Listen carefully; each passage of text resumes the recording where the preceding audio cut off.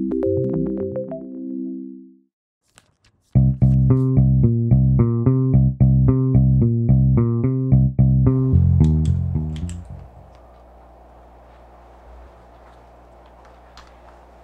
boa Oi, tarde. Boa tarde.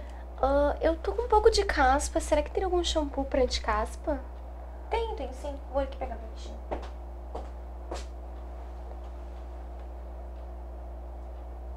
Tenho esses aqui, ó.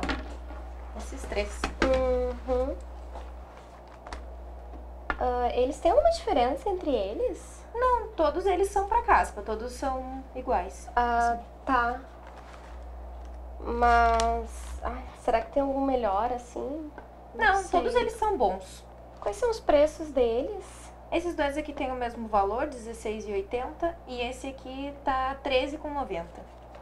Ah, então. Ah, acho que eu vou levar o mais barato então. Uhum. Então tá. Isso é bom também. Hum, Obrigada. De nada.